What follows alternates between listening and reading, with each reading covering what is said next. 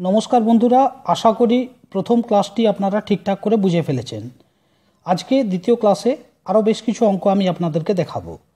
যেমন দেখুন, এখানে বলা হয়েছে, এই অঙ্কটা আবার একটু অন্যরকম বলে রাখি। এখানে স্টেটমেন্ট হিসেবে বলা হয়েছে, কিছু কাগজ হলো পেন, শুভ্র হলো একটি কাগজ। তাহলে দেখুন, এখানে প্রথম যে স্টেটমেন্টটা দেওয়া আছে, কিছু কাগজ হলো পেন। এই অঙ্কটার ক্ষেত্রে স্ট্রাকচার দু রকম হতে পারে, একরকম নয় দু রকম হতে পারে। আমি দুটোই দেখাচ্ছি। কিছু কাগজ হলো পেন। তাহলে ধরুন এটা হচ্ছে কাগজ। কিছু কাগজ, তার মধ্যে পেন। কিছু। তাহলে এরা হলো কাগজ আর এটা হলো পেন। তাহলে দেখুন, কাগজের কিছুটা পার্ট পেন। এরপর যেটা বলা হয়েছে, দেখুন, সেটা বলা হয়েছে, শুভ্র হলো একটি কাগজ। তাহলে শুভ্র একটি কাগজ। এখানটায় দেখুন, শুভ্র আছে, ধরুন। সেটি হলো একটি কাগজ, শুভ্র। তাহলে এখানে লক্ষ্য করে দেখুন, প্রথমটা আমি যেভাবে বানিয়েছি, কিছু কাগজ পেন হবে, কিছু কাগজ হবে পেন, আর শুভ্র হলো একটা কাগজ, শুভ্র পেন নাও হতে পারে। এটা একটা স্ট্রাকচার। দ্বিতীয় স্ট্রাকচার কি? কিছু কাগজ পেন হবে, ধরুন এটা কাগজ আর এটা পেন। তাহলে কিছু কাগজ, এই অংশটা, কিছু কাগজ, পেন, আর শুভ্র হলো একটি কাগজ। শুভ্র তো এখানেও থাকতে পারে। এটাও শুভ্র হতে পারে। শুভ্র কাগজও হতে পারে, পেনও হতে পারে। তাহলে দুটো স্ট্রাকচার পেলেন। একটি কীরকম শুভ্র কাগজ কিন্তু পেন নয়।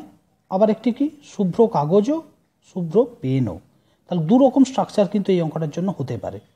এরপর আপনি কনক্লুশন আসুন। প্রথমে এই ছবিটা ধরে চেক করব কনক্লুশনগুলো তারপর এই ছবিটা ধরে চেক করব কনক্লুশনগুলো প্রথমে এই ছবিটার জন্য দেখুন। লক্ষ্য করুন কনক্লুশনে বলা হয়েছে, শুভ্র একটি পেন নয়।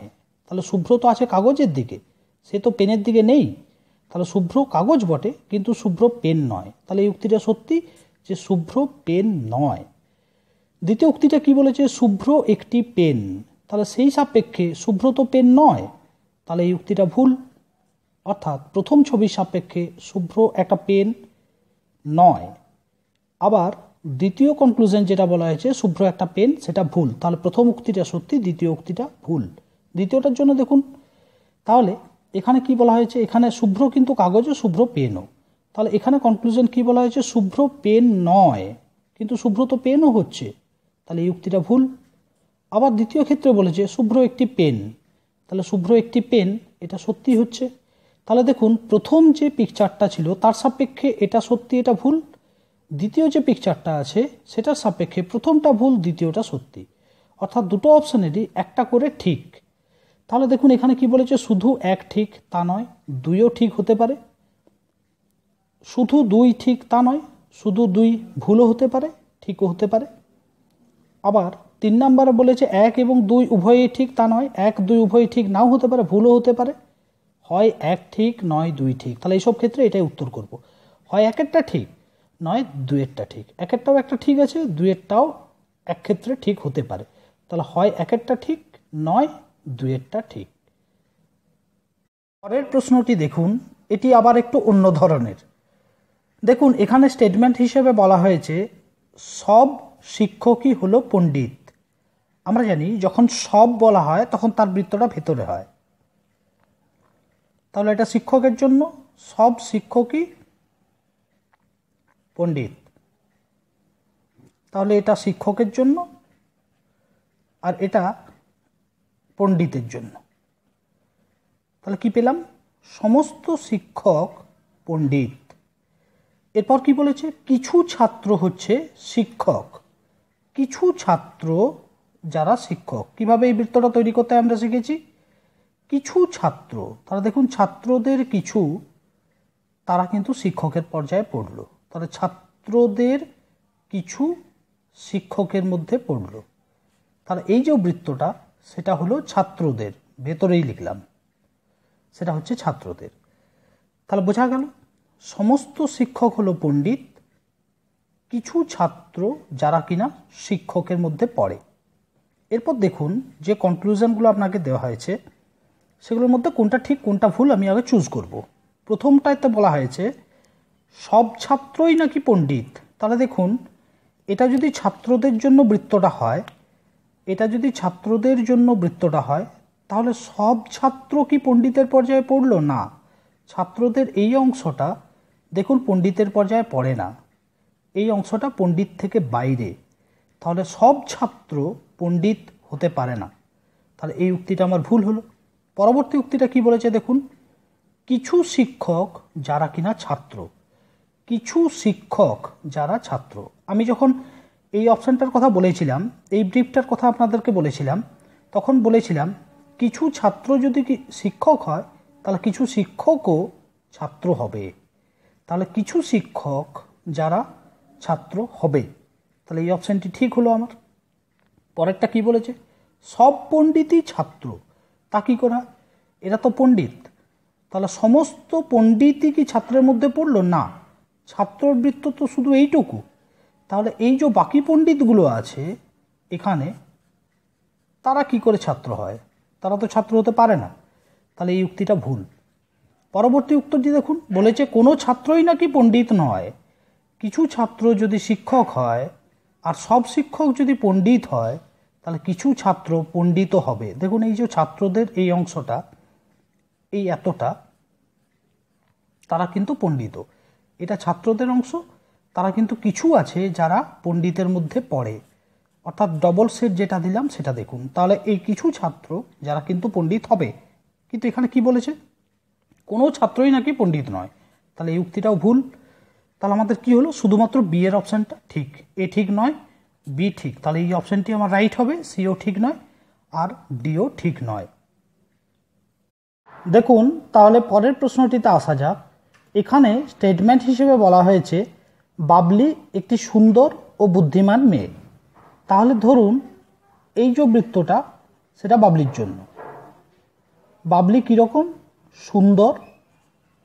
তাহলে এই অংশটা সুন্দরের জন্য এবং বাবলি বুদ্ধিমানও। তাহলে এই অংশটা ধরুন বুদ্ধিমানের জন্য। তাহলে বাবলি কি হলো? সুন্দর এই বৃত্তের মধ্যে পড়ল, আবার বাবলি বুদ্ধিমান এই বৃত্তের মধ্যে পড়ল। এরপরে দেখুন, দ্বিতীয় স্টেটমেন্টে বলেছে, সে খুব ভালো। তাহলে বাবলি আরেকটি নতুন বৃত্ত করুন। সেটি ভালোর জন্য বাবলি একটি ভালো মেয়েও হবে। তাহলে বাবলি সুন্দর হলো, বাবলি বুদ্ধিমান হলো, বাবলি ভালো হলো। এরপর এখানে কনক্লুশন হিসেবে যেটি দিয়েছে, আপনি দেখুন, সেখানে বলেছে, সব সুন্দর মেয়েরাই নাকি বুদ্ধিমান। তাহলে দেখুন, বাবলি বুদ্ধিমান, এটা ঠিক, কিন্তু সব বুদ্ধিমান মেয়েরাই সুন্দর হবে এমনটা কোনো মান নেই। কেন? কারণ দেখুন, সুন্দরের বৃত্ত হচ্ছে এই অংশটা। এই অংশটা হচ্ছে সুন্দরের জন্য। আর বুদ্ধিমান হচ্ছে এই অংশটা। তাহলে কিছু সুন্দর আছে, এই যে সুন্দর, এই অংশটা, যারা কিন্তু বুদ্ধিমান নয়। কিছু সুন্দর আছে, যারা বুদ্ধিমান নয়।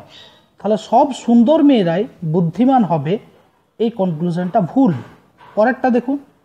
বলেছে, সুন্দরতা এবং বুদ্ধিমত্তা হলো ভালো হওয়ার জন্য প্রয়োজনীয় শর্ত। তার মানে কি? ভালো হতে গেলে তাকে সুন্দরও হতে হবে এবং বুদ্ধিমানও হতে হবে। তাহলে দেখুন, ভালোর এই যে পোর্শনটা আছে, যেখানটা আমি দেখুন ডবল সেট করছি, এই অংশটার জন্য, এই অংশটা না সুন্দর, না বুদ্ধিমান। কারণ এই অংশটুকু সুন্দরের পর্যায়েও পড়ছে না, সুন্দরের বৃত্ত এটা। আবার এই অংশটা বুদ্ধিমানের পর্যায়েও পড়ছে না, কারণ বুদ্ধিমানের বৃত্ত এটা।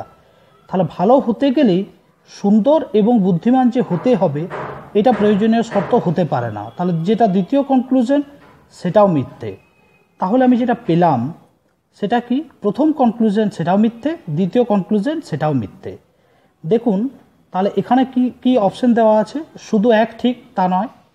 শুধু দুই ঠিক, তাও নয়। এক এবং দুই উভয়ই ঠিক, কোনোটাই নয়। তাহলে কোনোটি ঠিক নয়, এই অপশনটি আমার হবে অ্যান্সার অর্থাৎ ডিএডটি পরের প্রশ্নটি দেখুন, এটি আরেকটু হাই লেভেলের দেখুন, এখানে স্টেটমেন্ট তিনটে বলা আছে কনক্লুশন চারটা। এবং এক্ষেত্রে দেখবেন ছবি অর্থাৎ পিকচার দুটো হবে অ্যাডভান্স লেভেল কীরকম? দেখুন, এখানে স্টেটমেন্ট হিসেবে প্রথমে বলা হয়েছে, সব চেয়ারই টেবিল আমরা জানি যখন সব হয়, তখন সেটা ভেতরে থাকে।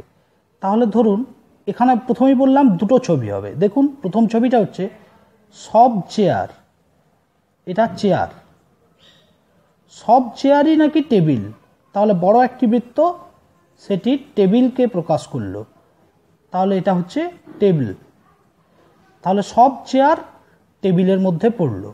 দু নম্বরে বলেছে, কোনো টেবিলই বই নয়। তাহলে এটা টেবিল তার কোনোটাই বই নয়। তাহলে বই পুরোপুরি আলাদা, এটা ধরুন বই। অর্থাৎ কোনো টেবিলই বই হলো না।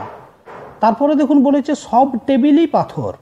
তাহলে এই যে টেবিলগুলো আছে, তার সব টেবিল, তাহলে এটা আবার এই বৃত্তটা ভেতরে ঢুকে যাবে। তারা কার ভেতরে ঢুকবে? পাথর। এই সব টেবিল পাথরের আন্ডারে পড়ল। তাহলে বোঝা গেল, সব চেয়ার টেবিলের আন্ডারে পড়ল, সব টেবিল পাথরের আন্ডারে পড়ল, বই আলাদা। কারণ কোনো টেবিলই বই নয়। এখানে দুটো ব্যাপার হতে পারে। দেখুন, এখানে বলা হয়েছে যে কোনো টেবিলই বই নয়। কিন্তু এমন বলেছে কি, যে কোনো পাথরই বই নয়। তাহলে এটাও একটা হতে পারে। কোনো পাথর বই নয় হতে পারে, আবার কোনো পাথর, কোনো কোনো পাথর বই এটাও হতে পারে। তাহলে দ্বিতীয় যে ছবিটা প্রকাশ করবে, সেটা এরকম। এটা চেয়ার সব চেয়ার টেবিলের আন্ডার পড়ল। তাহলে এটা হচ্ছে টেবিল আবার বই টেবিল থেকে পুরো আলাদা। কারণ কোনো টেবিলই বই নয়। কিন্তু তারপরেরটা দেখুন, সব টেবিলই পাথর। তাহলে সব টেবিলকে আমি পাথরের আন্ডারে নিয়ে এলাম। বইয়ের কিছুটা অংশও তো পাথর হতে পারে। কিছুটা অংশ পাথরও হতে পারে। দেখুন, তাহলে এটা হলো পাথর। এমন কিন্তু আপনাকে বলা নেই যে সব পাথর বই নয় বা কিছু পাথর বই নয়। তাহলে এমনটা হতেই পারে কিছু পাথর বই বা সব পাথর বইও হতে পারে। তাহলে এখানে দুটো ধরন পেলেন, দুটো ছবি পেলেন। এবার দুটোর ক্ষেত্রেই চেক করব, কোনটা কোনটা ঠিক, কোনটা ভুল। প্রথমে এই ছবিটায় আসুন, এই ছবিটা এখন ভুলে যান। প্রথমে এই যে ছবিটা আছে, সেখান থেকে দেখুন কি কি বলা হয়েছে। কনক্লুশনে কোনো চেয়ারই বই নয়। তাই কি সত্যি? এখানে দেখুন ভালো করে, কোনো চেয়ার ছবিটার দিকে লক্ষ্য করুন, তাহলে বুঝতে পারবেন, কোনো চেয়ারই বই নয়। তাহলে দেখুন, এখানে চেয়ার, যেহেতু কোনো টেবিলই বই নয়, তাহলে কোনো চেয়ারও বই হতে পারে না। কারণ চেয়ারগুলো সব টেবিলের ভেতরেই আছে। তাহলে এই কনক্লুশনটা ঠিক। প্রথম ছবিটার ক্ষেত্রে, দ্বিতীয়টাতে কি বলেছে? কোনো পাথরই বই নয়। তাহলে দেখুন হ্যাঁ এটাও ঠিক। কোনো পাথরই কিন্তু বই নয়। কারণ পাথর এবং বই দুটো বৃত্ত পুরোপুরি আলাদা। তাহলে এটাও ঠিক হলো। তৃতীয় বলেছে, কিছু পাথর বই। তাহলে এই ছবিটার ক্ষেত্রে কোনো পাথরই বই নয়। তাহলে কিছু পাথর কি করে বই হতে পারে? ফলে এই কনক্লুশনটা মিথ্যা। আবার বলেছে, দেখুন, সব টেবিলই হলো চেয়ার তা কী করে হয়? সব চেয়ার টেবিলের আন্ডারে পড়ে, কিন্তু সব টেবিল চেয়ারের আন্ডারে পড়তে পারে না। তাহলে এটাও মিথ্যে। তাহলে দেখুন, প্রথম এটার জন্য, প্রথম ছবিটার জন্য এই সবগুলো আমি পেলাম। দ্বিতীয় ছবিটাতে আসুন, এবার প্রথমটাকে ভুলে যান। তাহলে সেই সাপেক্ষে, দেখুন, প্রথম অপশানটা কি পড়ছে? কোনো চেয়ারই বই নয়। এটা চেয়ার আর বই পুরোপুরি ডিফারেন্ট সে তো টেবিল থেকেই আলাদা। তাহলে চেয়ার থেকেও আলাদা হবে। ফলে এটা ঠিক। কোনো পাথরই বই নয়। তাহলে দেখুন, এই কনক্লুশনটায় আমি যেটা পেয়েছি, কিছু পাথর আছে যারা কিন্তু বইয়ের আন্ডারে পড়েছে। কিছু পাথর বই হতে পারে। তাহলে এই অপশানটা এক্ষেত্রে ঠিক নয়। ফলে এটা ক্রস দিলাম। থার্ড অপশানটা দেখুন, কিছু পাথর বই। অবশ্যই সেটাই বলা হচ্ছে যে কিছু পাথর যারা বইয়ের মধ্যে পড়ে। তাহলে এক্ষেত্রে এটা ঠিক। তারপরে দেখুন, সব টেবিলই হলো চেয়ার না, এক্ষেত্রেও এটা ভুল, কারণ এখানে টেবিল আর এখানে চেয়ার চেয়ারগুলো টেবিলের আন্ডারে পড়ে, কিন্তু টেবিলগুলো চেয়ারের আন্ডারে পড়ে না, তাহলে এটা ভুল। এরপর এই যে দুটো অপশান আছে, এই গোটাটার থেকে, এই ছবিটার থেকে, তাহলে এখানে দেখুন দুটো ছবির ক্ষেত্রেই কোনটা ঠিক হয়েছে। প্রথম অপশানটা দেখুন দুটোর ক্ষেত্রেই মিলেছে। তাহলে এখানে যাই অপশন দিত, সেখানে আমি করতাম শুধু এক, ঠিক। কারণ দুটো ছবিতে কোনো কনফিউশন থাকছে না, দুটো ছবির ক্ষেত্রেই এই প্রথম অপশানটা দুটোই ঠিক হচ্ছে। যেমন আপনাকে উত্তর জানতে চাইবে, সেরকম অ্যান্সার দেবেন।